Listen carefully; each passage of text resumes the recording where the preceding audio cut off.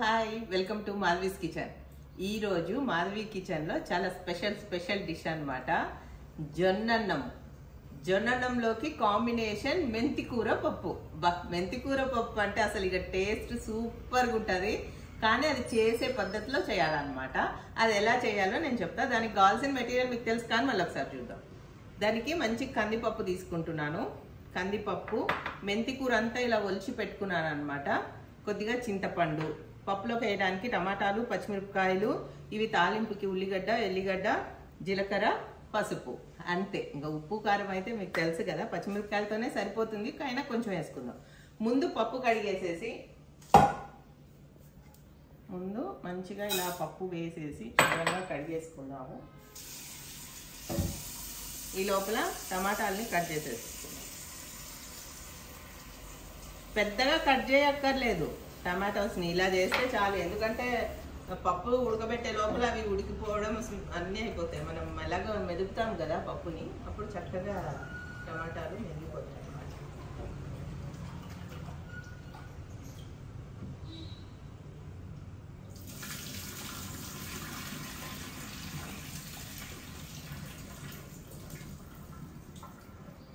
కొద్దిగా వాటర్. కొంచెము వాటర్ ఎక్కువ వేసుకుంటేనే మంచిది. కొద్దిగా పప్పు ఎలా ఉండాలంటే స్పూన్తో మనం తినేసేలాగా ఉండాలి. గట్టిగా ఉండకూడదు. కొంచెం సెమీ సాలిడ్గా ఉంటే బాగుంటుంది.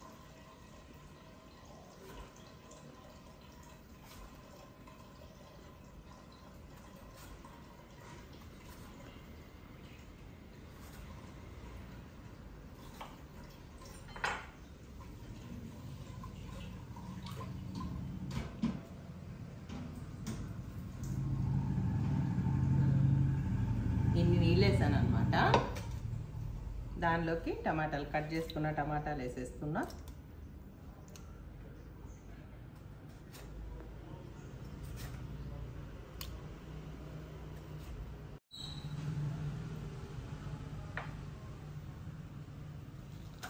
పచ్చిమిరపకాయలు వేస్తున్నా కారం కొంచెం తగ్గించే కారం అవసరం లేదులే ఇంకా. ఇన్ని మిరపకాయలు వేసాం కదా. అది.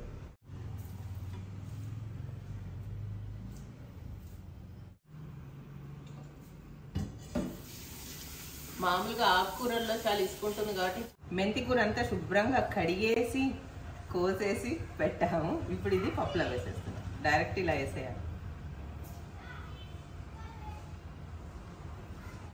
ఇది వేసేద్దాం. చింతపండు. అది కొద్దిగా వగరు చేదుగా ఉంటుంది కదా మెంతి కూర. కొంచెం చింతపండు మంచిగా వేసుకొని జీలకర్ర. జీలకర్ర రెండు సార్లు వేస్తున్నాను ఒకసారి పప్పులో డైరెక్ట్గా ఒకసారి తాలింపులో. ఇది పసుపు. పసుపు.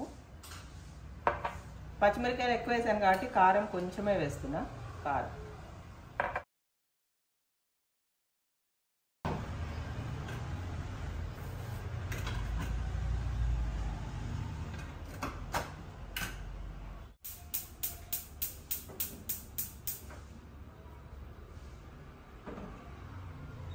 అంతే ఒక మూడు విజిల్స్ వచ్చిన తర్వాత ఆఫ్ చేసేసి చల్లగా అయ్యాక తాలింపు వేసుకుందాం.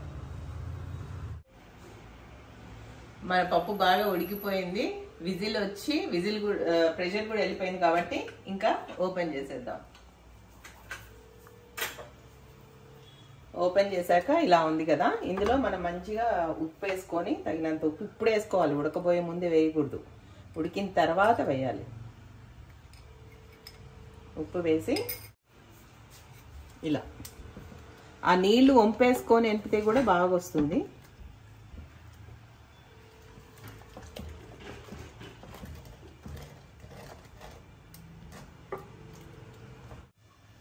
మన పప్పు ఎంపేసాం కదా తాలింపుకి రెడీ చేసుకుందాం. ఒక బాండీలో కొద్దిగా నూనె తీసుకొని నూనె కానీ నెయ్యి కానీ మీ ఇష్టం. తీసుకొని ఆవాలు జీలకర్ర ఎండుమిరపకాయలు ఉల్లిపాయలు ఎల్లిపాయలు ఇంగువ. అన్నిటికంటే మెయిన్ ఇంగువ. ముందు ఆవాలు వేద్దాం. ఆవాలు చిట్పట అన్నాకనే తాలింపులో ఇంకేమైనా వేయాలి. ముందుగా వేయకూడదు. కొంచెం జీలకర్ర వేసుకోవాలి. జీలకర్ర వేసిన తర్వాత ఇవి ఉల్లిపాయలు కట్ చేసి పెట్టుకున్న ఉల్లిపాయలు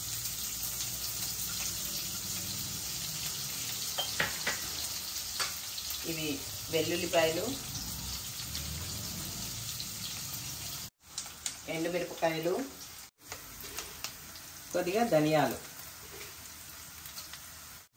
ఇంగువ వేస్తున్నా కొద్దిగా.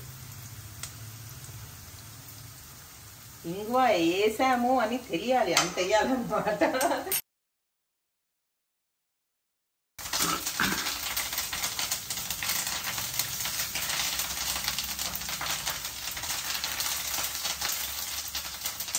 స్టవ్ ఆపేసాను ఎందుకంటే మన పోపు రెడీ అయిపోయింది.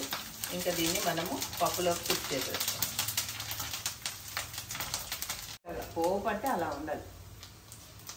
ఆ పోపుతోనే మొత్తం కూర కానీ ఏదైనా అసలు ఆ పోపు వల్లే కాదనమాట ఇలా షిఫ్ట్ చేసేసుకోవాలి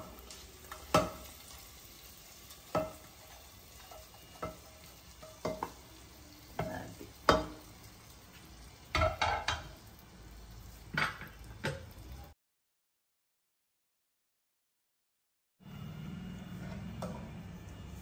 మంచిగా ఇందులోకి మన దాల్.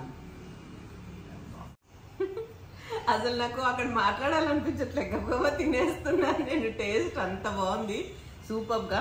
మీరు కూడా ట్రై చేయండి. స్లో కుక్కర్లో మంచిగా జొన్నలు కడిగి పెట్టండి ఇలా రాజ్మా జొన్నలు ఇంత మెత్తగుడి కేసి అసలు ఎక్కడైతుంది? సూపర్గా. మళ్ళీ అలా రౌండ్ రౌండ్గానే ఉన్నాయి. మనం కుక్కర్లో వేస్తే పేస్ట్ అయిపోతుంది కదా. చాలా బాగుంది. ఇంక ఇలాగే పప్పు ఇలాగే ఆమ్లెట్స్ అన్నీ ట్రై చేసుకోండి. మాధవి కిచెన్ని సబ్స్క్రైబ్ చేస్తూ ఉండండి. Thank you